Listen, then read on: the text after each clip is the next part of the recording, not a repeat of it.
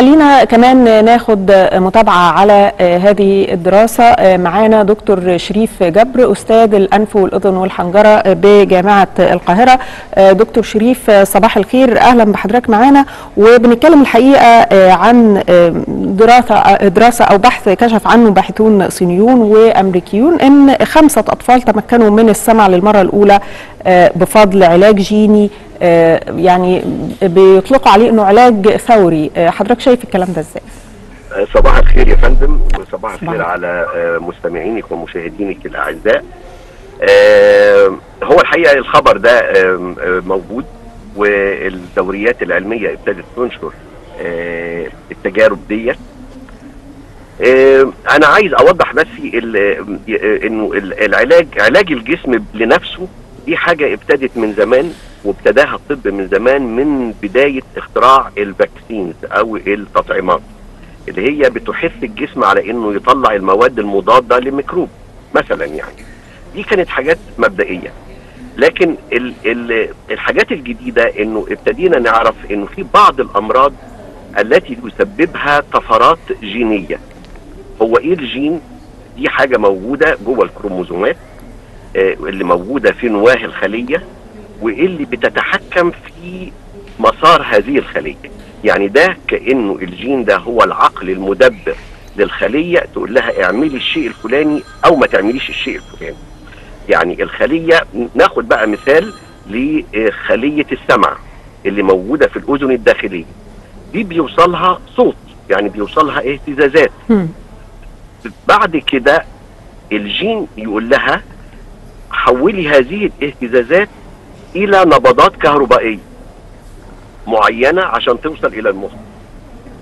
في بعض الصمم الجيني الوراثي الجين ده مش موجود أو الجين دوت مختلف فبالتالي ما بتطلعش الإشارة لما يوصل لها صوت إنه وصلي الصوت دوت أو وصلي كهرباء إلى المخ.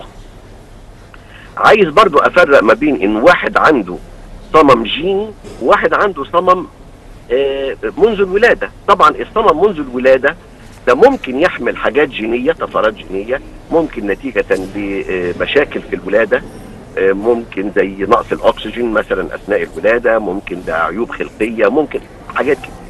اللي إحنا بنتكلم عنه حاليا هو الصمم الجيني اللي موجود نتيجة لخلل في الجينز اللي موجودة في خلايا الأذن الداخلية اسمها الخلايا الهدبية.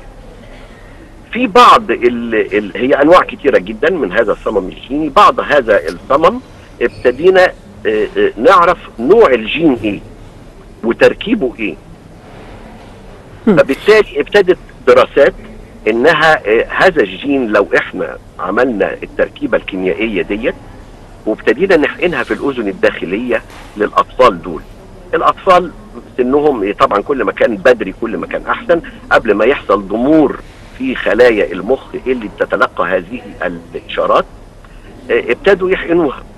فابتدى هي هتتحقن إزاي؟ ما هو الحاجة الوحيدة اللي ممكن تغزو نواة الخلية هي الفيروس. فيروس اسمه ادينو فيروس فابتدوا يحطوا المادة الكيميائية دي في الادينو فيروس ده ويحقنوها. فخلاص هم ضامنين إنه الأدينو فيروس ده هي هي هي هيدخل على نواه الخلية ويوصل هذه المادة الكيميائيه فكأني عوضت الجين اللي آه ناقص. ابتدت فعلا بعض الأطفال اللي اتعملت آه على على مراحل آه سريرية تجريبية. ابتدت بعض الأطفال في الصين يظهروا استجابة سمعية اللي ابتدى يسمع اسم باباه اللي ابتدى يرقص على موسيقى اللي ابتدى وهكذا. لكن يا دكتور الدراسة بتشير إنه إذا النتائج استمرت بهذا الشكل من ثلاث لخمس سنين ممكن يعني ينال هذا الأسلوب أو الطريقة بتنال الموافقة. يعني قد إيه آه. هذه العملية معقدة في تطبيقها؟ معقدة جدا. تبدأ من حتى. تشخيص المرض. هل يا ترى المرض ده هل هل الطفل اللي اتولد ما بيسمعش وما بيتكلمش هل ده مرض جيني ولا لأ؟ طب لو جيني إحنا عندنا آلاف الجينات في الأذن آلاف الجينات في الخلية. الجين ده عبارة عن زي كأنه المتحكم في في تصرف الخلية. في عندنا آلاف الجينات يمكن مئات الآلاف من الجينات. أنهي جين بالظبط وهل هو الجين اللي أقدر أصنعه ولا لا؟ آه، إذا استمرت ال- ال- ال- التطور بالشكل دوت فهذا المرض الوراثي ممكن يعالج بحقن الجين فيه. ودي مش بس هتفيدنا في آه، علاج الصمم دي ممكن هتفيدنا في حاجات كتيرة جدا لأنه في أمراض كتير جدا سواء في الأنف والأذن أو في السمع أو في آه، أجهزة أخرى في الجسم مم. نتيجة لخلل في الجين. فده الحقيقة بريقة أمل كبيرة جدا جدا لكل مرضى الأمراض الجينية آه، هل هل ده كمان آه، ليه علاقة بضعاف السمع ولا فقط حالة الصمم هي اللي ممكن آه، يتم علاجها؟